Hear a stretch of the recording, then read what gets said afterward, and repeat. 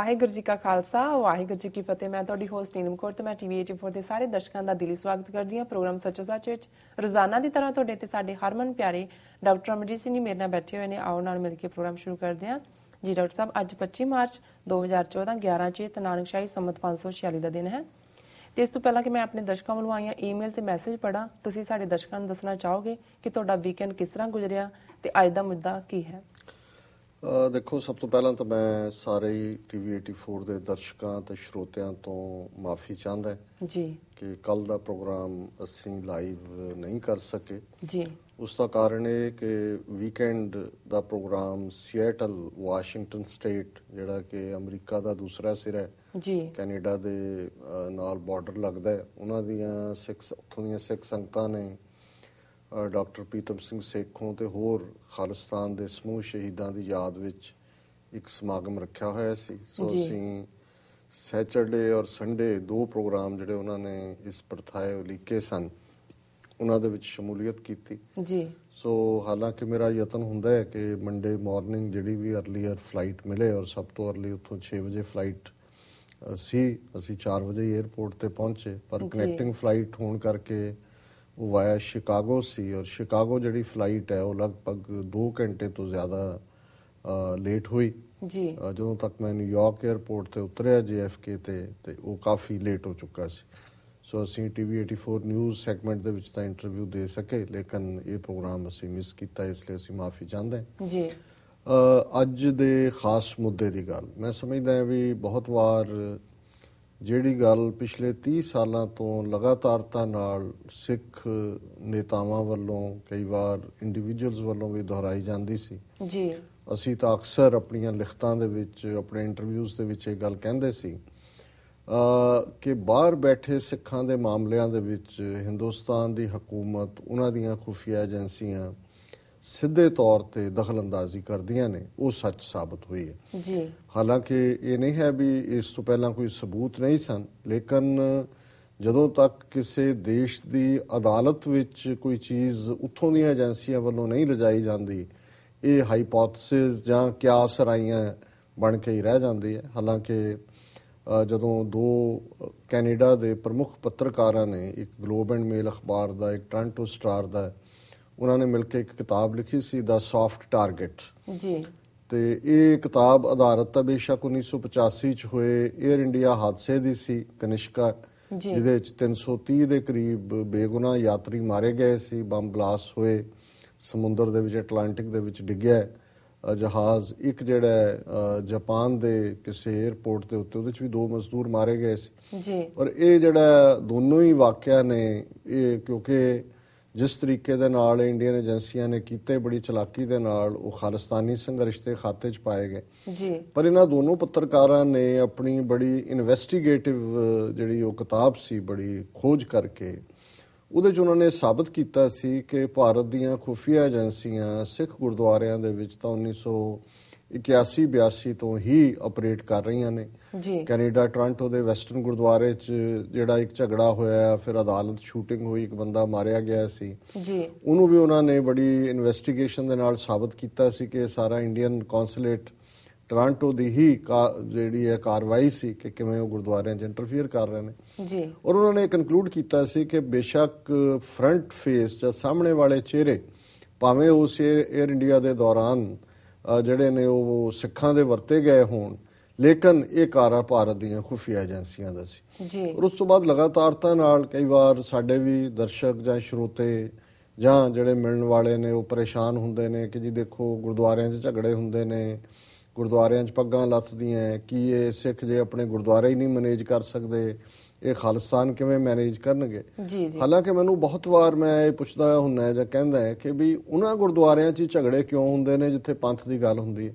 ਜੀ। ਜਿੱਥੇ ਖਾਲਿਸਤਾਨ ਦੀ ਗੱਲ ਹੁੰਦੀ ਹੈ। ਜਿਹੜੇ ਡੇਰੇ ਨੇ ਨਿੱਜ ਵਾਲੇ ਨੇ ਜਾਂ ਦੂਸਰੇ ਕੰਟਰੋਲਡ ਸਰਕਾਰੀ ਕੰਟਰੋਲ ਜਿੱਥੇ ਪ੍ਰਭਾਵ ਨੇ ਉਹਨਾਂ ਦੇ ਵਿੱਚ ਝਗੜੇ ਨਹੀਂ ਹੁੰਦੇ।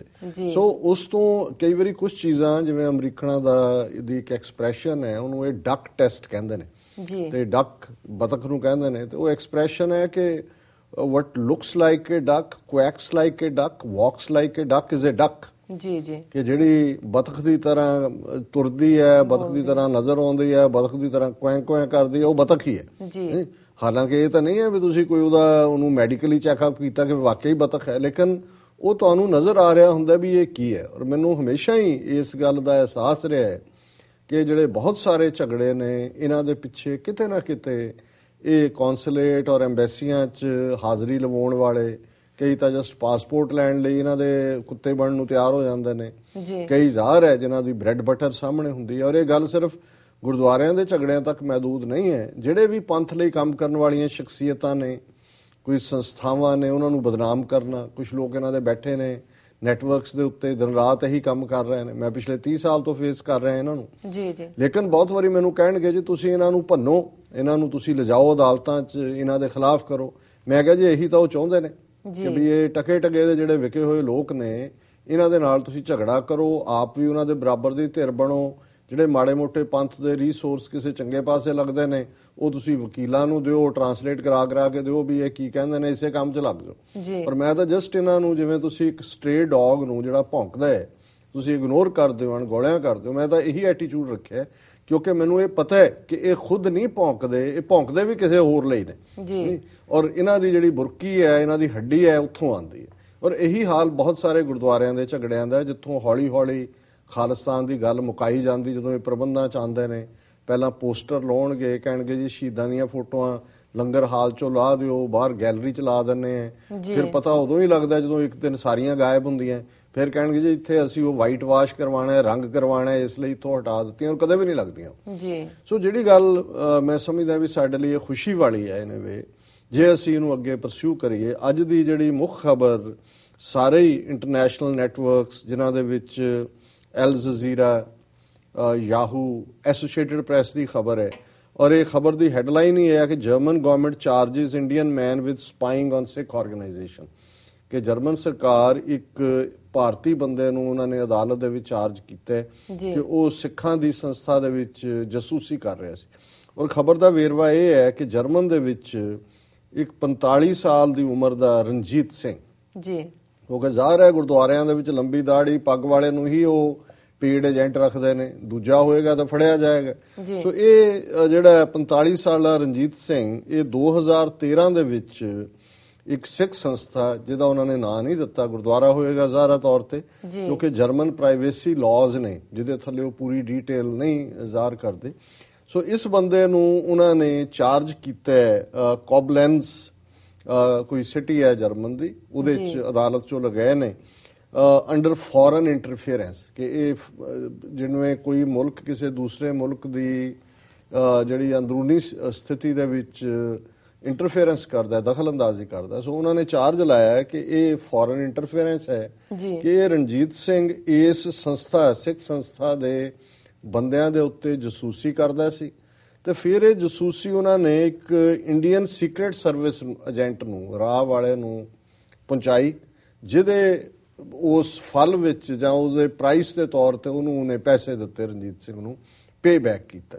ਸੋ ਜ਼ਾਹਰ ਹੈ ਕਿ ਇਹ ਇੰਨੀ ਜਾਣਕਾਰੀ ਆਈ ਹੈ ਕਿਉਂਕਿ ਜਿਵੇਂ ਮੈਂ ਕਿਹਾ ਵੀ ਜਰਮਨ ਪ੍ਰਾਈਵੇਸੀ ਲਾਜ਼ ਥੱਲੇ ਪਰ ਕਿਉਂਕਿ ਉਸ ਨੂੰ ਦੇ ਉੱਤੇ ਦੋਸ਼ ਆਇਤ ਕੀਤੇ ਨੇ ਅਦਾਲਤ ਫੈਡਰਲ ਗਵਰਨਮੈਂਟ ਨੇ ਕੀਤੇ ਨੇ ਜਰਮਨ।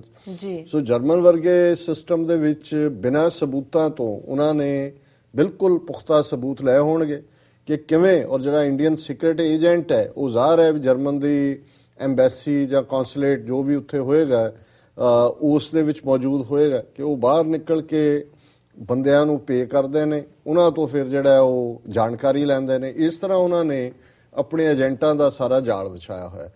ਸੋ ਅਸੀਂ ਸਮਝਦੇ ਹਾਂ ਵੀ ਇਹ ਸਾਡੇ ਲਈ ਇੱਕ ਬੜੀ ਚੰਗੀ ਖਬਰ ਹੈ। ਕਿਉਂਕਿ ਜਿਹੜੀ ਗੱਲ ਅਸੀਂ 30 ਸਾਲਾਂ ਤੋਂ ਲਗਾਤਾਰਤਾ ਨਾਲ ਕਹਿੰਦੇ ਰਹੇ ਹਾਂ ਕਿ ਵੀ ਇਹ ਜਿਹੜੇ ਐਮਬੈਸੀਆਂ ਕੌਂਸੂਲੇਟ ਨੇ ਇਹ ਸਿੱਖਾਂ ਦੇ ਮਾਮਲੇ 'ਚ ਦਖਲਅੰਦਾਜ਼ੀ ਕਰਦੇ ਨੇ। ਜੀ। ਗੁਰਦੁਆਰਿਆਂ ਜਿਨ੍ਹਾਂ ਨੇ ਬੰਦੇ ਫਿੱਟ ਕੀਤੇ ਹੋਏ ਨੇ। ਇੱਕ ਤਾਂ ਇਹ ਪਾਸਪੋਰਟ ਜਾਂ ਵੀਜ਼ੇ ਨੂੰ ਹੀ ਪਹਿਲਾਂ ਤਾਂ ਹਥਿਆਰ ਦੇ ਤੌਰ ਤੇ ਵਰਤਦੇ ਆ। ਉਹਨਾਂ ਨੇ ਏਜੰਟ ਰੱਖੇ ਨੇ ਜਿਹੜੇ ਕਹਿਣਗੇ ਜੀ ਤੁਸੀਂ ਪਾਸਪੋਰਟ ਲੈਣਾ ਕੱਢੋ 10000 ਡਾਲਰ ਜਾਂ ਕੱਢੋ 5000 ਡਾਲਰ। ਦੇਖਦਿਆਂ ਹੋਇਆ ਵੀ ਕਿੰਨਾ ਕੁ ਜਿਹੜਾ ਕੋਈ ਪੇ ਕਰ ਸਕਦਾ ਜੀ। ਇੱਕ ਤਾਂ ਉਹ ਏਜੰਟੀ ਕਰਕੇ ਖਾਂਦੇ ਨੇ। ਦੂਜੇ ਜਿਹੜੇ ਇਸ ਕਿਸਮ ਦੇ ਬੰਦੇ ਜਿਨ੍ਹਾਂ ਨੂੰ ਪਾਸਪੋਰਟ ਨਹੀਂ ਸੀ ਮਿਲਦਾ ਜ਼ਾਹਰ ਹੈ ਉਹ ਪੰਥ ਦੀ ਗੱਲ ਕਰਨ ਵਾਲੇ ਨੇ ਉਹਨਾਂ ਚ ਖਾਲਿਸਤਾਨ ਦੇ ਸਪੋਰਟਰ ਨੇ। ਉਹ ਉੱਥੇ ਜਾ ਕੇ ਵੀ ਭਾਅ ਬਣਾਉਂਦੇ ਨੇ ਕਿ ਜੇ ਅਸੀਂ ਇੱਕ ਬੰਦਾ ਲਿਆਵਾਂਗੇ ਉਹ ਤੁਹਾਨੂੰ ਲਿਖ ਕੇ ਵੀ ਦੇਗਾ ਕਿ ਫਿਊਚਰ ਚੋਂ ਕੋਈ ਜਿਹੜਾ ਹੈ ਖਾਲਿਸਤਾਨੀ ਗਤੀਵਿਧੀ 'ਚ ਸ਼ਾਮਲ ਨਹੀਂ ਹੋਏਗਾ। ਤੇ ਉਹਦੀ ਤੁਸੀਂ ਉਹ ਕਹਿੰਦੇ ਜੀ ਕੋਈ ਨਹੀਂ ਲਿਆਓ। ਸੋ ਇੱਕ ਤਾਂ ਇਹ ਦਲਾਲੀ ਹੈ ਦੂਸਰੀ ਜਿਹੜੇ ਬੰਦੇ ਇਹਨਾਂ ਨੇ ਗੁਰਦੁਆਰਿਆਂ ਦੇ ਸਿਸਟਮ ਦੇ ਵਿੱਚ ਜਾਂ ਜਥੇਬੰਦੀਆਂ ਦੇ ਵਿੱਚ ਫਿੱਟ ਕੀਤੇ ਨੇ ਜਿਨ੍ਹਾਂ ਦਾ ਕੰਮ ਇਹ ਹੈ ਵੀ ਝਗੜਾ ਪਾ ਕੇ ਰੱਖਣਾ। ਜੇ। ਕਿਤੇ ਵੀ ਸਮਝੌਤਾ ਹੋ ਲੜਾਈ ਕਰਾ ਦਿਓ। ਹੁਣ ਜਦੋਂ ਲੜਾਈ ਹੁੰਦੀ ਹੈ ਸਭ ਤੋਂ ਪਹਿਲਾਂ ਫਿਰ ਉਹਨਾਂ ਨੇ ਮੀਡੀਆ ਦੇ ਵਿੱਚ ਆਪਣੇ ਰੱਖੇ ਹੋਏ ਨੇ ਬੰਦੇ। ਕਿ ਉਹ ਪੱਗਾਂ ਲੱਥਦੀਆਂ ਨੇ ਜਾਂ ਕਿਰਪਾਨਾਂ ਚੱਲਦੀਆਂ ਉਹ ਫੋਟੋਆਂ ਜਿਹੜੀਆਂ ਨੇ ਉਹ ਲੈ ਕੇ ਸ਼ਾਮ ਤੱਕ ਪਹੁੰਚਾ ਦਿੰਦੇ ਨੇ ਕਿ ਆ ਲਓ ਜੀ। ਉਹ ਫਿਰ ਯਕੀਨੀ ਬਣਾਉਂਦੇ ਨੇ ਕਿ ਸਾਰੇ ਇੰਟਰਨੈਸ਼ਨਲ ਮੀਡੀਆ ਦੇ ਵਿੱਚ ਆਪਣੀ ਪੀਟੀਆਈ ਜਾਂ ਯੂਐਨਆਈ ਚ ਇੰਡੀਆ ਚ ਔਰ ਬਾਹਰਲੀਆਂ ਨਿਊਜ਼ ਏਜੰਸੀ ਜਿਵੇਂ ਟੀਵੀ ਤੇ ਉਹਨਾਂ ਦਾ ਇੱਕ ਐਨਆਈ ਗਰੁੱਪ ਹੈ ਉਹਦੇ ਥੱਲੇ ਉਹ ਚਾਰ ਚਫੇਰੇ ਉਹਨੂੰ ਬ੍ਰਾਡਕਾਸਟ ਕਰ ਦਿੰਦੇ ਨੇ। ਇਹਨੂੰ ਕਹਿੰਦੇ ਨੇ ਕਿ ਇਮੇਜ ਨੂੰ ਬਦਨਾਮ ਕਰਨਾ ਸਿੱਖਾਂ ਦਾ ਇਮੇਜ ਤਾਂ ਕਿ ਇਹ ਗੱਲ ਸਾਰਿਆਂ ਤੱਕ ਪਹੁੰਚਾਈ ਜਾਏ। ਦੇਖੋ ਜੀ ਅਸੀਂ ਤਾਂ ਇੱਕ ਡੈਮੋਕ੍ਰੈਟਿਕ ਕੰਟਰੀ ਹੈ ਇਹ ਲੋਕ ਤਾਂ ਗੁਰਦੁਆਰਿਆਂ ਦੇ ਵਿੱਚ ਪੱਗਾਂ ਲਾਉਂਦੇ ਨੇ ਇੱਕ ਦੂਜੇ ਦੀਆਂ। ਅਸੀਂ ਤਾਂ ਇਹਨਾਂ ਨਾਲ ਡੀਲ ਕਰ ਰਹੇ ਹਾਂ। ਜੀ। ਸੋ ਅਸੀਂ ਸਮਝਦੇ ਹਾਂ ਵੀ ਇਹ ਜਿਹੜਾ ਜਰਮਨ ਗਵਰਨਮੈਂਟ ਦਾ ਸਟੈਪ ਹੈ ਐਕਸਪੋਜ਼ ਕਰਨ ਦਾ ਫੋਰਨ ਇੰਟਰਫੇਰੈਂਸ ਨੂੰ ਜੀ। ਇਸ ਦੀ ਅਸੀਂ ਸ਼ਲਾਘਾ ਕਰਦੇ ਹਾਂ। ਔਰ ਅਸੀਂ ਸਮਝਦੇ ਹਾਂ ਵੀ ਜਿੱਥੇ ਜਿੱਥੇ ਵੀ ਸਿੱਖ ਆਬਾਦ ਨੇ ਦੁਨੀਆ ਜਿਵੇਂ ਅਮਰੀਕਾ ਕੈਨੇਡਾ ਯੂਰਪ ਦੇ ਹੁਣ ਸਾਰੇ ਮੁਲਕਾਂ 'ਚ ਨੇ ਜਿੱਥੇ ਕਿ ਜ਼ਿਆਦਾ ਇੰਟਰਫੇਰੈਂਸ ਹੈ ਜਿੱਥੇ ਜ਼ਿਆਦਾ ਆਬਾਦੀ ਹੈ। ਜੀ। ਸਾਨੂੰ ਇਹ ਗੱਲ ਜਾਂ ਇਸ ਖਬਰ ਨੂੰ ਜਦੋਂ ਹੁਣ ਇਹ ਟ੍ਰਾਇਲ 'ਚ ਜਾਏਗਾ ਕੇਸ ਹੋਰ ਵੇਰਵੇ ਵੀ ਸਾਹਮਣੇ ਆਣਗੇ ਜੀ ਜੀ। ਇਸ ਗੱਲ ਨੂੰ ਇਹਨਾਂ ਦੇ ਧਿਆਨ 'ਚ ਲਿਆਉਣ ਦੀ ਲੋੜ ਹੈ ਕਿ ਇਸ ਮਾਮਲੇ ਦੇ ਵਿੱਚ ਇਹ ਗਵਰਨਮੈਂਟਸ ਵੀ ਐਕਟਿਵ ਹੋਣ। ਇਥੋਂ ਦੀਆਂ ਸਾਰੀਆਂ ਐਮਬੈਸੀਆਂ ਕੌਂਸੂਲੇਟਸ ਇਹੀ ਕੰਮ ਕਰਦੇ ਨੇ। ਇਹ ਹੋਰ ਕਿਸੇ ਤੇ ਨਹੀਂ ਕਰਦੇ। ਇੱਥੇ ਗੁਜਰਾਤੀ ਵੀ ਰਹਿੰਦੇ ਨੇ ਅਮਰੀਕਾ ਦੇ ਵਿੱਚ ਤਮਿਲ ਵੀ ਰਹਿੰਦੇ ਨੇ ਤੇਲਗੂ ਵਾਲੇ ਵੀ ਰਹਿੰਦੇ ਨੇ ਕੇਰਲਾਈਟ ਵੀ ਰਹਿੰਦੇ ਨੇ ਸਿੰਧੀ ਵੀ ਰਹਿੰਦੇ ਨੇ ਉਹਨਾਂ ਦੇ ਮੰਦਰਾਂ 'ਚ ਨਹੀਂ ਜਾ ਕੇ ਇੰਟਰਫੇਅਰ ਕਰਦੇ ਜਾਂ। ਉਹਨਾਂ ਦੀਆਂ ਜਸੂਸੀਆਂ ਨਹੀਂ ਕਰਦੇ। ਸੋ ਇਹਨਾਂ ਦਾ ਫੋਕਸ ਹੀ ਜਿਹੜਾ ਹੈ ਸਿੱਖਾਂ ਦੇ ਵਿੱਚ ਵੜ ਕੇ ਘੁਸਪੈਠ ਕਰਕੇ ਝਗੜੇ ਕਰਵਾਉਣਾ ਅੰਦਰੂਨੀ ਜਾਣਕਾਰੀ ਬਾਹਰ ਕੱਢਣਾ ਪਾਸਪੋਰਟ ਵੀਜ਼ਿਆਂ ਦਾ ਅਤੇ ਔਰ ਇਹ ਇਲੀਗਲ ਹੈ। ਬਹੁਤ ਵਾਰੀ ਆਪਣੇ ਲੋਕ ਇੰਨੇ ਡਰਦੇ ਨੇ ਉਹਨਾਂ ਨੂੰ ਐਜ਼ ਅ ਸਿਟੀਜ਼ਨ ਆਪਣੇ ਰਾਈਟਸ ਦਾ ਹੀ ਪਤਾ ਨਹੀਂ ਹੈ। ਜੀ। ਉਹ ਇਸ ਤਰ੍ਹਾਂ ਇੰਡੀਅਨ ਬਿਲਕੁਲ ਜਿਹੜਾ ਕੋਈ ਵੀ ਬਾਹਰਲੀ ਐਮਬੈਸੀ ਤੁਹਾਡੇ ਸਿਟੀਜ਼ਨਸ ਦੇ ਮਾਮਲਿਆਂ ਦੇ ਵਿੱਚ ਜਾਂ ਤੁਹਾਨੂੰ ਇਹ ਧਮਕੀ ਦੇ ਕੋਈ ਉਹਨਾਂ ਦਾ ਬੰਦਾ ਕਿ ਜੀ ਅਸੀਂ ਤੁਹਾਨੂੰ ਵੀਜ਼ਾ ਨਹੀਂ ਦੇਵਾਂਗੇ ਜੇ ਤੁਸੀਂ ਇਹ ਕਰੋਗੇ। ਇਹ ਵੀ ਇੰਟਰਫੇਰੈਂਸ ਜੀ। ਲੇਕਿਨ ਕਿਉਂਕਿ ਸਾਡਿਆਂ ਨੇ ਉਹ ਅੰਗਰੇਜ਼ਾਂ ਦੀ ਗੁਲਾਮੀ ਜਿਹੜੀ ਦੂਜਿਆਂ ਨੇ ਤਾਂ ਕੀਤੀ ਸੀ ਸਾਡੇ ਵੀ ਦਿਮਾਗਾਂ 'ਚ ਬੜੀ ਹੈ। ਇੱਕ ਕਾਰੋਬਾਰੀ ਸਿੱਖ ਹੋ ਗਏ ਉਹਨਾਂ ਨੂੰ ਇਹੀ ਡਰ ਰਹਿੰਦਾ ਹੈ ਕਿ ਜੀ ਪਤਾ ਨਹੀਂ ਕੀ ਹੋ ਜਾਣਾ। ਜੀ ਉਹ ਡਰਦੇ ਆ ਮਾਰੇ ਉਹਨਾਂ ਨੂੰ ਪਤਾ ਹੀ ਨਹੀਂ ਹੈ ਵੀ ਐਜ਼ ਅ ਯੂਐਸ ਸਿਟੀਜ਼ਨ ਔਰ ਐਜ਼ ਅ ਕੈਨੇਡੀਅਨ ਸਿਟੀਜ਼ਨ ਸਾਡੇ ਕੀ ਹਕੂਕ ਨੇ? ਔਰ ਮੈਂ ਸਮਝਦਾ ਵੀ ਜਰਮਨ ਗਵਰਨਮੈਂਟ ਦੇ ਸਟੈਪ ਨੇ ਰਸਤਾ ਦੱਸਿਆ ਔਰ ਇਹਨਾਂ ਨੂੰ ਇੱਥੇ ਵੀ ਚੈਲੰਜ ਕਰਨ ਦੀ ਲੋੜ ਹੈ ਔਰ ਅਸੀਂ ਆਪਣੇ ਦਰਸ਼ਕਾਂ ਨੂੰ ਸਰੋਤਿਆਂ ਨੂੰ ਵੀ ਇਹ ਗੁਜ਼ਾਰਿਸ਼ ਕਰਾਂਗੇ ਕਿ ਵੀ ਇਹਨਾਂ ਤੋਂ ਅਨਡਿਊ ਕੋਈ ਫੀਅਰ ਕਰਨ ਦੀ ਲੋੜ ਨਹੀਂ ਹੈ। ਕੋਈ ਵੀ ਇਸ ਕਿਸਮ ਦਾ ਬੰਦਾ ਹੈ ਜਿਹੜਾ ਕਿ ਕੋਈ ਇਸ ਕਿਸਮ ਦੀ ਏਜੰਟੀ ਰਾਹੀਂ ਅੰਦਰ ਦਖਲਅੰਦਾਜ਼ੀ ਕਰਨਾ ਚਾਹੁੰਦਾ ਹੈ ਜਾਂ ਕਰਦਾ ਹੈ ਉਸ ਦੇ ਸਬੂਤ ਇਕੱਠੇ ਕਰੋ। ਜਿਹੜਾ ਵੀ ਸ਼ੱਕੀ ਬੰਦਾ ਹੈ ਔਰ FBI ਨੂੰ ਕਾਲ ਕਰਕੇ ਫੈਡਰਲ ਨੂੰ ਉਹਨਾਂ ਦੀ ਜਾਣਕਾਰੀ ਦਿਓ ਕਿ ਇਹ ਸਾਡੇ ਮਾਮਲਿਆਂ ਦੇ ਵਿੱਚ ਦਖਲਅੰਦਾਜ਼ੀ ਹੈ ਔਰ ਅਮਰੀਕਾ ਦੀਆਂ ਅਦਾਲਤਾਂ 'ਚ ਵੀ। ਹੁਣ ਉਹਨਾਂ ਇਹਨਾਂ ਨੇ ਦੇਵਯਾਨੀ ਨੂੰ ਚੰਗਾ ਰਗੜਾ ਦਿੱਤਾ ਹੈ। ਆ ਸੋਨੀਆ ਗਾਂਧੀ ਦੇ ਕੇਸ ਜਿਹੜਾ 6 ਫਾਰ ਜਸਟਿਸ ਨੇ ਲਿਆ ਉਹਨਾਂ ਨੇ ਕਿਹਾ ਸੋਨੀਆ ਗਾਂਧੀ ਨੂੰ ਪਿਛਲੇ 3-4 ਦਿਨ ਪਹਿਲਾਂ ਕਿ ਵੀ ਆਪਣਾ ਪਾਸਪੋਰਟ ਦਿਖਾ। ਉਹਨਾਂ ਨੇ ਕਿਹਾ ਜੀ ਸਮਨ ਡਿਲੀਵਰ ਨਹੀਂ ਹੋਇਆ। ਉਹਨਾਂ ਨੇ ਕਿਹਾ ਅਮਰੀਕਨ ਅਦਾਲਤ ਨੇ ਕਿਹਾ ਪਾਸਪੋਰਟ ਦਿਖਾ ਸੋਨੀਆ ਗਾਂਧੀ ਨੂੰ ਕਿ ਵੀ ਤੂੰ ਕਿਹਨਾਂ ਡੇਟਾਂ 'ਚ ਅਮਰੀਕਾ ਆਈ ਹੈ। ਸੋ ਮੈਂ ਸਮਝਦਾ ਵੀ ਅਮਰੀਕਾ ਦੇ ਵਿੱਚ ਕੋਈ ਅਬਵ ਦਾ ਲਾਅ ਨਹੀਂ ਹੈ। ਔਰ ਇਹ ਕੰਮ ਜਿਹੜੇ ਲੋਕ ਕਰਦੇ ਨੇ ਉਹ ਇੰਟਰਫੀਅਰ ਕਰਦੇ ਨੇ ਤੁਹਾਡੇ ਰਾਈਟਸ ਦੇ ਵਿੱਚ ਯੂਐਸ ਸਿਟੀਜ਼ਨ ਜਿਹੜੇ ਸਿੱਖ ਨੇ। ਔਰ ਇਹਨਾਂ ਨੂੰ ਆਇਡੈਂਟੀਫਾਈ ਕਰੋ ਔਰ ਐਕਸਪੋਜ਼ ਕਰੋ। ਸੋ ਇਹ ਇੱਕ ਸਾਡੇ ਲਈ ਬੜੀ ਅਹਿਮ ਔਰ ਖੁਸ਼ਗਵਾਰ ਖਬਰ ਹੈ ਕਿ ਜਰਮਨ ਸਰਕਾਰ ਨੇ ਅਖੀਰ ਇੱਕ ਭਾਰਤੀ ਏਜੰਟ ਨੂੰ ਨਾ ਸਿਰਫ ਫੜਿਆ ਸਗੋਂ ਉਹਨੂੰ ਅਦਾਲਤ ਦੇ ਵਿੱਚ ਵੀ ਖੜਿਆ ਔਰ ਉਸ ਦੇ ਉੱਤੇ ਦੋਸ਼ ਆਇਦ ਕੀਤੇ। ਜੀ ਡਾਕਟਰ ਸਾਹਿਬ ਤੁਹਾਡਾ ਬਹੁਤ ਬਹੁਤ ਧੰਨਵਾਦ। ਇਸ ਦੇ ਨਾਲ ਲੈਣੇ ਬ੍ਰੇਕ ਵੀਅਰਸ ਤੁਸੀਂ ਸਾਡੇ ਨਾਲ ਇਸ ਤਰ੍ਹਾਂ ਜੁੜੇ ਰਹੋ ਮਿਲਦੇ ਹਾਂ ਛੋਟੇ ਵਕਫੇ ਤੋਂ ਬਾਅਦ।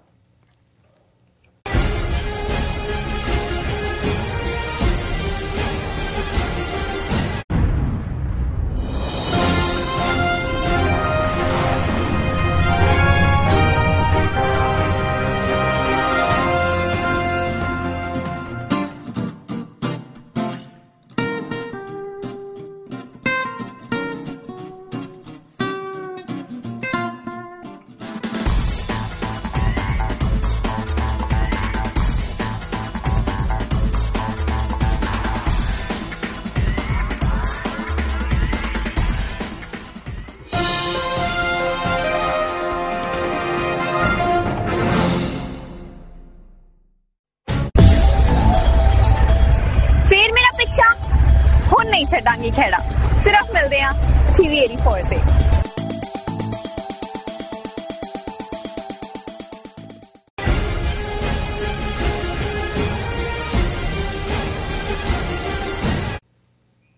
ਵੀਅਰਸ ਫੇਰ ਦੁਆਰਾ ਤੁਹਾਡਾ ਸਵਾਗਤ ਹੈ ਪ੍ਰੋਗਰਾਮ ਸੱਚ ਸੱਚ ਵਿੱਚ। ਜੀ ਡਾਕਟਰ ਸਾਹਿਬ ਸਾਡੀ ਪਹਿਲੀ ਈਮੇਲ ਆਈ ਹੈ ਸਿਡਨੀ ਆਸਟ੍ਰੇਲੀਆ ਤੋਂ ਵੀਰ ਗੁਰਸਿੱਖ ਜੀ ਦੀ ਜੋ ਲਿਖਦੇ ਹਨ ਡਾਕਟਰ ਅਮਰਜੀਤ ਸਿੰਘ ਜੀ ਵਾਹਿਗੁਰੂ ਜੀ ਕਾ ਖਾਲਸਾ ਵਾਹਿਗੁਰੂ ਜੀ ਕੀ ਫਤਿਹ। ਮੈਂ ਅੱਜ ਕੱਲ ਥੋੜਾ ਬਿਜ਼ੀ ਹਾਂ। ਪਰ ਇੱਕ ਦੋ ਜ਼ਰੂਰੀ ਗੱਲਾਂ ਤੁਹਾਨੂੰ ਲਿਖ ਕੇ ਭੇਜ ਰਿਹਾ ਹਾਂ। ਪਹਿਲਾ, ਜਿਵੇਂ ਕਿ ਮੈਂ ਤੁਹਾਨੂੰ ਪਹਿਲੀ ਵੀ ਇੱਕ ਵਾਰ ਲਿਖਿਆ ਸੀ ਕਿ ਮਨਪ੍ਰੀਤ ਬੱਦਲ ਵੀ ਅਬਦਾਲੀ ਦਲ ਦੇ ਪਲਾਨ ਦਾ ਹੀ ਹਿੱਸਾ ਹੈ। ਹੁਣ ਮਨਪ੍ਰੀਤ ਬਠਿੰਡਾ ਤੋਂ ਆਪਣੀ ਭਾਬੀ ਨੰਨੀ ਸ਼ਾਹ ਦੇ ਖਿਲਾਫ ਖੜਾ ਹੈ, ਪਰ ਅੰਦਰੋਂ ਹਰਸਿਮਰਤ ਨੂੰ ਜਿਤਾਉਣ ਲਈ ਜ਼ੋਰ ਲਗਾ ਰਿਹਾ ਹੈ। ਬਠਿੰਡਾ ਅਬਦਾਲੀ ਪਰਿਵਾਰ ਲਈ ਸਭ ਤੋਂ ਇੰਪੋਰਟੈਂਟ ਸੀਟ ਹੈ, ਕਿਉਂਕਿ ਇੱਥੋਂ ਨੰਨੀ ਸ਼ਾਹ ਜਿੱਤ ਕੇ ਕੇਂਦਰੀ ਮੰਤਰੀ ਬਣੇਗੀ। ਦੂਸਰਾ ਮਸ਼ਹੂਰ ਗਾਇਕ ਕੇ ਐਸ ਮੱਖਣ ਨੂੰ ਵੀ ਅਬਦਾਲੀ ਦਲ ਨੇ ਹੀ ਖੜਾ ਕੀਤਾ ਹੈ। ਅਨੰਦਪੁਰ ਸਾਹਿਬ ਤੋਂ ਬਸਪਾ ਦੀ ਸੀਟ ਤੇ ਜਿਸ ਦਾ ਕੰਮ ਸਿਰਫ ਕਾਂਗਰਸ ਦੀ ਵੋਟ ਤੋੜ ਕੇ ਅਬਦਾਲੀ ਦਲ ਨੂੰ ਜਿਤਾਉਣਾ ਹੈ। ਮੱਖਣ ਥੋੜਾ ਚਿਰ ਪਹਿਲੇ ਹੀ ਇਹਨਾਂ ਨਾਲ ਰਲਿਆ ਹੈ ਤੇ ਅਜੀਤ ਸਿੰਘ ਕੁਹਾੜ ਨੇ ਹੀ ਉਸ ਨੂੰ ਵਿਦੇਸ਼ ਤੋਂ ਸੱਦ ਕੇ ਉਸ ਦੇ ਉੱਪਰ ਚਲਦੇ ਕੇਸ ਰਫਾ ਦਫਾ ਕਰਵਾਏ ਸਨ। ਪਹਿਲੇ ਉਹ ਅਦਾਲਤੋਂ ਮਕੋੜਾ ਸੀ ਤੇ ਭਾਰਤ ਨਹੀਂ ਸੀ ਵੜ ਸਕਦਾ। ਤੀਸਰਾ, ਪੰਜਾਬ ਦੇ ਜੱਟ ਸਿੱਖਾਂ ਨੂੰ ਸ਼ਡਿਊਲਡ ਕਾਸਟ ਸ਼੍ਰੇਣੀ ਵਿੱਚ ਸ਼ਾਮਲ ਕਰਨ ਦੀ ਸਾਜ਼ਿਸ਼ ਵੀ ਚੱਲ ਰਹੀ ਹੈ ਅਤੇ ਸ਼ਡਿਊਲਡ ਕਾਸਟ ਸ਼੍ਰੇਣੀ ਦੇ ਲੋਕਾਂ ਦੇ ਵਜ਼ੀਫੇ ਅਤੇ ਸਹੂਲਤਾਂ ਵਧਾ ਦਿੱਤੀਆਂ ਗਈਆਂ ਹਨ ਤਾਂ ਕਿ ਜਦੋਂ ਇਹ ਕਾਨੂੰਨ ਲਾਗੂ ਕੀਤਾ ਜਾਵੇ, ਉਦੋਂ ਸਿੱਖ ਵਿਰੋਧ ਕਰਨ ਦੀ ਥਾਂ ਤੇ ਸਹੂਲਤਾਂ ਦੇ ਕੇ ਚੁੱਪ ਕਰ ਜਾਣ। ਚੌਥਾ ਭਾਰਤ ਸਰਕਾਰ ਸਿੱਖਾਂ ਦੀ ਲੁੱਟ ਖਸੁੱਟ ਕਰਕੇ ਉਹਨਾਂ ਨੂੰ ਗਰੀਬ ਬਣਾ ਕੇ ਹੌਲੀ-ਹੌਲੀ ਸੋਸ਼ਲੀ ਐਂਡ ਫਾਈਨੈਂਸ਼ਲੀ ਬਿਹਾਰੀਆਂ ਦੇ ਬਰਾਬਰ ਲਿਆਉਣਾ ਚਾਹੁੰਦੀ ਹੈ ਤਾਂ ਕਿ ਸਿੱਖਾਂ ਦੀਆਂ ਆਉਣ ਵਾਲੀਆਂ ਪੀੜ੍ਹੀਆਂ ਨੂੰ ਬਿਹਾਰੀਆਂ ਵਿੱਚ ਮਿਲਾਉਣ ਦਾ ਕੰਮ ਸੌਖਾ ਹੋ ਸਕੇ। ਪੰਜਵਾਂ, ਪੰਜਾਬ ਵਿੱਚ ਬਿਹਾਰੀ ਲੋਕ ਸਭ ਤੋਂ ਵੱਧ ਆਪਣਾ ਮੇਲ-ਜੋਲ ਧਰਮੀ ਸਿੱਖਾਂ ਨਾਲ ਵਧਾ ਰਹੇ ਹਨ, ਜਿਨ੍ਹਾਂ ਨੂੰ ਭਾਰਤ ਸਰਕਾਰ ਹਰੀਜਨ ਕਹਿੰਦੀ ਹੈ ਤੇ ਕਈ ਥਾਈਂ ਉਹ ਆਪਸ ਵਿੱਚ ਰਿਸ਼ਤੇਦਾਰ ਵੀ ਹਨ। ਮੈਨੂੰ ਲੱਗਦਾ ਹੈ ਆਉਣ ਵਾਲੇ ਸਮੇਂ ਵਿੱਚ ਸਰਕਾਰ ਜੱਟ ਸਿੱਖਾਂ ਤੇ ਧਰਮੀ ਸਿੱਖਾਂ ਵਿੱਚ ਪਾੜਾ ਵਧਾਉਣ ਲਈ ਕੋਈ ਚਾਲ ਖੇਡੇਗੀ ਤੇ ਬਿਹਾਰੀ ਵੇੜੇ ਵਾਲੇ ਸਿੱਖਾਂ ਦਾ ਸਾਥ ਦੇਣਗੇ ਤੇ ਜੱਟ ਸਿੱਖਾਂ ਦੇ ਖਿਲਾਫ ਭੁਗਤਣਗੇ। ਪਿੰਡਾਂ ਦੇ ਲੋਕ ਜ਼ਿਆਦਾ ਗੁੱਸੇ ਵਾਲੇ ਹਨ ਪਰ ਪੋਲਿਟਿਕਸ ਬਿਲਕੁਲ ਨਹੀਂ ਸਮਝਦੇ ਤੇ ਗੁੰਡਾ ਸਰਕਾਰ ਲਈ ਆਪਸ ਵਿੱਚ ਲੜਵਾਉਣੇ ਸੌਖੇ ਹਨ। ਜੀ ਡਾਕਟਰ ਸਾਹਿਬ ਇਹਨਾਂ ਦਾ ਬਹੁਤ ਬਹੁਤ ਧੰਨਵਾਦ। ਇਹਨਾਂ ਨੇ ਵੀਰ ਜੀ ਨੇ ਸਾਨੂੰ ਲਿਖਿਆ ਹੈ ਸਿਡਨੀ ਆਸਟ੍ਰੇਲੀਆ ਤੋਂ। ਜੀ ਜੀ। ਇਹਨਾਂ ਨੇ ਕਿਉਂਕਿ ਲਿਖਤ ਬੜੀ ਸਪਸ਼ਟ ਹੈ ਇਸ ਲਈ ਬਹੁਤੀ ਵੇਰਵੇ ਦੀ ਮਹਤਾਜ ਨਹੀਂ ਹੈ। ਪੰਜ ਨੁਕਤੇ ਇਹਨਾਂ ਨੇ ਦਿੱਤੇ ਨੇ। ਜੀ। ਜਿਹੜੇ ਕਿ ਇਸ ਵੇਲੇ ਉਹਨਾਂ ਦੀ ਏਜੰਸੀਆਂ ਦੀ ਗੇਮ ਪਲਾਨ ਦਾ ਹਿੱਸਾ ਹੈ। ਪਹਿਲਾਂ ਉਹਨਾਂ ਨੇ ਮਨਪ੍ਰੀਤ ਬਾਦਲ ਦਾ ਜ਼ਿਕਰ ਕੀਤਾ ਹੈ ਕਿ ਇਹ ਟੱਬਰ ਰਲਿਆ ਹੋਇਆ ਹੈ। ਬਠਿੰਡਾ ਜਿਹੜਾ ਇਹਨਾਂ ਦਾ ਸਿਟੈਡਲ ਹੈ ਇਹਨਾਂ ਦਾ ਕਿਲ੍ਹਾ ਹੈ। ਜੀ। ਔਰ ਨੰਨੀ ਛਾਂ ਜਿਹੜੀ ਆ ਉਹ ਪਾਰਲੀਮੈਂਟ ਜਾਏਗੀ। ਔਰ ਜ਼ਾਹਰ ਹੈ ਅਸੀਂ ਵੀ ਕਿਹਾ ਵੀ ਮੋਦੀ ਦੇ ਨਾਲ ਇਹਨਾਂ ਦਾ ਅਲਾਈਅੰਸ ਦਾ ਇੱਕ ਹਿੱਸਾ ਹੈ ਵੀ ਹਰਸਿਮਰਤ ਵਜ਼ੀਰ ਬਣੇਗੀ। ਜੀ ਜੀ। ਅ, ਦੂਸਰਾ ਉਹਨਾਂ ਨੇ ਅਨੰਦਪੁਰ ਸਾਹਿਬ ਤੋਂ ਬਹੁਜਨ ਸਮਾਜ ਪਾਰਟੀ ਦਾ ਕੈਂਡੀਡੇਟ ਕੇ ਐਸ ਮੱਖਣ ਜਿਹਨੇ ਥੋੜਾ ਸਮਾਂ ਪਹਿਲਾਂ ਹੀ ਅੰਮ੍ਰਿਤਪਾਨ ਕੀਤਾ ਫਿਰ ਪਿੰਡਰਾ ਵਾਲਿਆਂ ਦੀ ਤਾਰੀਫ 'ਚ ਗਾਣੇ ਵੀ ਗਾਏ। ਜੀ। ਔਰ ਹੁਣ ਉਹ ਬਹੁਜਨ ਸਮਾਜ ਪਾਰਟੀ ਦਾ ਉਮੀਦਵਾਰ ਹੈ। ਉਹਨਾਂ ਦਾ ਕਹਿਣਾ ਹੈ ਕਿ ਵੀ ਇਹ ਕੁਹਾੜ ਨੇ ਜਿਹੜਾ ਵਜ਼ੀਰ ਹੈ ਉਹਨੂੰ ਬਾਹਰੋਂ ਸੱਦਿਆ ਮੈਨੂੰ ਨਹੀਂ ਪਤਾ ਜੋ ਇਹਨਾਂ ਨੇ ਕਿਹਾ ਕਿ ਉਹਦੇ ਖਿਲਾਫ ਕੇਸ ਸਨ ਕੁਝ ਭਗੌੜਾ ਸੀ ਉਹ ਕੇਸ ਵਾਪਸ ਕੀ ਕਰਵਾਏ। ਜੀ। ਔਰ ਇਹਦੇ 'ਚ ਤਾਂ ਕੋਈ ਸ਼ੱਕ ਨਹੀਂ ਹੈ ਕਿ ਬਹੁਜਨ ਸਮਾਜ ਪਾਰਟੀ ਪੰਜਾਬ ਦੇ ਵਿੱਚ ਇੰਡੀਪੈਂਡੈਂਟ ਜਿਹੜਾ ਖਲੋਂਦੀ ਹੈ ਉਹਦੇ 'ਚ ਬਾਦਲ ਦਾ ਬੜਾ ਵੱਡਾ ਹਿੱਸਾ ਹੈ। ਮੈਂ ਕੋਈ ਚਾਰਜ ਤਾਂ ਨਹੀਂ ਲਾਣਾ ਚਾਹੁੰਦਾ ਪਰ ਇਹ ਕਿਆਸ ਰਾਈਆਂ ਨੇ ਵੀ ਇਹਨਾਂ ਦਾ ਮਾਇਆਵਤੀ ਦੇ ਨਾਲ ਜਿਹੜੀ ਬਹੁਜਨ ਸਮਾਜ ਪਾਰਟੀ ਦੀ ਮੁਖੀ ਹੈ ਸਮਝੌਤਾ ਇੱਕ ਕਿਸਮ ਦਾ। ਜੀ। ਕਿ ਜਿੰਨਾ ਵੀ ਉਹਨਾਂ ਦਾ ਦੀ ਸੌਦੇਬਾਜ਼ੀ ਦਾ ਹਿੱਸਾ ਹੈ ਉਹ ਉਹਨਾਂ ਤੱਕ ਪਹੁੰਚ ਜਾਂਦਾ ਹੈ। ਤੇ ਦੂਸਰਾ ਇਹ ਹੁੰਦਾ ਵੀ ਤੁਸੀਂ ਕਾਂਗਰਸ ਦੇ ਨਾਲ ਅਲਾਈਅੰਸ ਨਹੀਂ ਕਰਨਾ ਕਿਉਂਕਿ ਪੰਜਾਬ ਦੇ ਵਿੱਚ ਲਗਭਗ 33-34% ਵੋਟ ਜਿਹੜੀ ਹੈ ਉਹ ਦਲਿਤ ਭਾਈਚਾਰੇ ਦੀ ਹੈ। ਦੁਆਬੇ। ਦੇ ਵਿੱਚ ਤਾਂ ਬਹੁਤ ਮੈਜੋਰਟੀ ਇਸ ਤੋਂ ਵੀ ਜ਼ਿਆਦਾ ਹੈ। ਸੋ ਜੇ ਬਹੁਜਨ ਸਮਾਜ ਪਾਰਟੀ ਆਪਣੇ ਅੱਡ ਉਮੀਦਵਾਰ ਖੜੇ ਕਰਦੀ ਉਹ ਜਿਤਾ ਤਾਂ ਨਹੀਂ ਸਕਦੀ ਪਰ ਕਾਂਗਰਸ ਨੂੰ ਹਰਾ ਦਿੰਦੀ ਹੈ। ਕਿਉਂਕਿ ਅਕਾਲੀਆਂ ਨੂੰ ਇਹ ਪਤਾ ਹੈ ਵੀ ਕਿਸੇ ਵੀ ਹਾਲਤ 'ਚ ਜੇ ਅਕਾਲੀ ਉਹਨਾਂ ਦੇ ਨਾਲ ਸਿੱਧਾ ਸਮਝੌਤਾ ਵੀ ਕਰ ਸਕਦੇ ਨੇ ਬਹੁਜਨ ਸਮਾਜ ਨਾਲ ਪਰ ਉਹਨਾਂ ਨੂੰ ਹਮੇਸ਼ਾ ਇਹ ਰਹਿੰਦਾ ਹੈ ਕਿ ਬਹੁਜਨ ਸਮਾਜ ਵਾਲੇ ਵੋਟਾਂ ਕਾਂਗਰਸ ਨੂੰ ਹੀ ਪਾਣਗੇ ਜੇ ਸਮਝੌਤਾ ਵੀ ਹੋ ਗਿਆ। ਸੋ ਇਹਨਾਂ ਦਾ ਕਹਿਣਾ ਹੈ ਹਾਲਾ ਮੈਨੂੰ ਇਸ ਗੱਲ ਦਾ ਨਹੀਂ ਪਤਾ ਹੈ ਜਿਹੜੀ ਜਿਵੇਂ ਇਹਨਾਂ ਨੇ ਕਿਹਾ ਵੀ ਕੇ ਐਸ ਮੱਖਣ ਜਿਹੜਾ ਹੈ ਉਹ ਵੀ ਬਾਦਲ ਕਿਆਂ ਦੀ ਇਸ ਵੱਡੀ ਗੇਮ ਦਾ ਹਿੱਸਾ ਹੀ ਹੈ। ਜੀ। ਤੀਸਰੀ ਗੱਲ ਉਹਨਾਂ ਨੇ ਕਹੀ ਕਿ ਵੀ ਜਿਵੇਂ ਜੱਟ ਸਿੱਖਾਂ ਨੂੰ ਸ਼ਡਿਊਲ ਕਾਸਟ ਦਾ ਰੁਤਬਾ ਪੰਜਾਬ ਸਰਕਾਰ ਨੇ ਦਿੱਤਾ ਹੈ। ਹਾਲਾਂਕਿ ਇਸ ਦੀ ਬੈਕਗ੍ਰਾਉਂਡ ਹੋਰ ਵੀ ਹੈ ਕਿਉਂਕਿ ਇਹ ਦੇਣ ਤੋਂ ਪਹਿਲਾਂ ਹੀ ਤਿੰਨ ਚਾਰ ਦਿਨ ਪਹਿਲਾਂ ਸੈਂਟਰ ਗਵਰਨਮੈਂਟ ਨੇ ਪੰਜ ਛੇ ਸਟੇਟਾਂ ਦੇ ਜਾਟਾਂ ਨੂੰ ਜਾਂ ਜੱਟਾਂ ਨੂੰ ਸ਼ਡਿਊਲ ਕਾਸਟ ਬਣਾਇਆ ਜਿਨ੍ਹਾਂ ਦੇ ਵਿੱਚ ਕਿਉਂਕਿ ਕੁਝ ਨੂੰ ਤਾਂ ਸਟੇਟਾਂ ਪਹਿਲਾਂ ਹੀ ਦੇ ਚੁੱਕੀਆਂ ਸੀ ਜਿਵੇਂ ਰਾਜਸਥਾਨ ਜਾਂ ਯੂਪੀ ਦੇ ਵਿੱਚ ਪਰ ਰਾਜਸਥਾਨ ਯੂਪੀ ਹਰਿਆਣਾ ਮੱਧ ਪ੍ਰਦੇਸ਼ ਉਹਦੇ ਵਿੱਚ ਪੰਜਾਬ ਦੇ ਜੱਟ ਸਿੱਖ ਸ਼ਾਮਲ ਨਹੀਂ ਸੀ।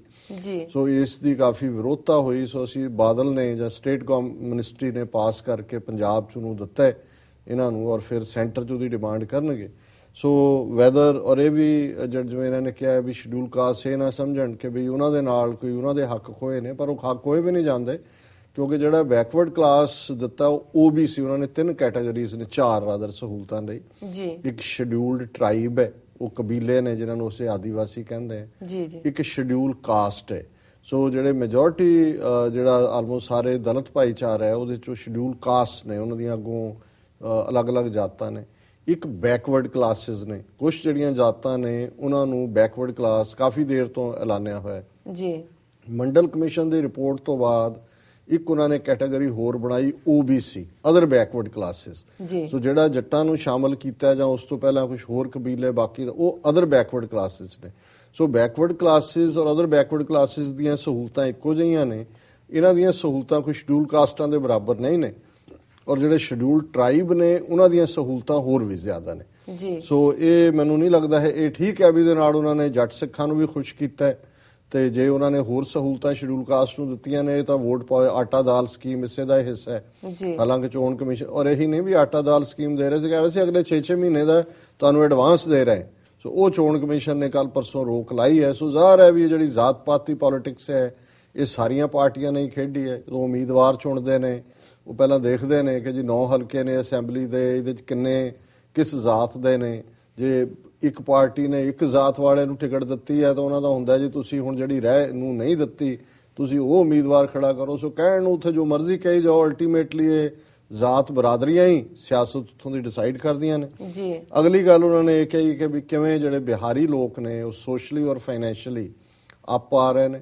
ਔਰ ਉਹਨਾਂ ਦੀਆਂ ਰਿਸ਼ਤੇਦਾਰੀਆਂ ਵੀ ਜਿਹੜਾ ਜਿਨ੍ਹਾਂ ਨੂੰ ਉਹਨਾਂ ਨੇ ਕਿਹਾ ਵੀ ਮਜਬੀ ਜਾਂ ਧਰਮੀ ਸਿੱਖ ਕਹਿੰਦੇ ਨੇ ਜਾਂ ਕਲਾਸ ਕਹਿੰਦੇ ਨੇ ਉਹਨਾਂ ਦੇ ਨਾਲ ਜੁੜ ਰਹੀਆਂ ਨੇ ਰਿਸ਼ਤੇਦਾਰੀਆਂ ਔਰ ਅਲਟੀਮੇਟਲੀ ਇਸ ਫੈਕਟਰ ਨੂੰ ਇਹ ਇਸਤੇਮਾਲ ਕਰਨਗੇ ਦੂਸਰੇ ਜਿਹੜੇ ਸਿੱਖ ਭਾਈਚਾਰੇ ਨੇ ਉਹਨਾਂ ਦੇ ਨਾਲ ਟਕਰਾਉਣ ਦੇ ਲਈ। ਜੀ। ਇਹ ਸਿਰਫ ਚਲੋ ਉਹ ਤਾਂ ਦੁਸ਼ਮਣ ਬਾਤ ਕਰੇ ਅਨਹੋਣੀ ਉਹ ਕੀ ਖੇਡ ਖੇਡ ਰਹੇ ਨੇ ਕਿ ਨਹੀਂ ਅਸੀਂ ਜਿਵੇਂ ਜ਼ਿਕਰ ਕੀਤਾ ਸੀ ਕਿ ਕੋ ਪਵਨ ਕੁਮਾਰ ਟੀਨੂ ਜਿਨੇ ਸਭ ਤੋਂ ਪਹਿਲਾਂ ਇਹ ਜ਼ਾਤ ਪਾਤੀ ਫਸਾਦ ਤੱਲਣ ਦੇ ਵਿੱਚ ਪਾਇਆ ਜਲੰਧਰ ਦੇ ਨੇੜੇ ਪਿੰਡ 'ਚ। ਉਹਨੂੰ ਪਹਿਲਾਂ ਬਾਦਲਕਿਆਂ ਨੇ ਆਦਮਪੁਰ ਤੋਂ ਟਿਕਟ ਦਿੱਤੀ ਐਮਐਲਏ ਦੀ।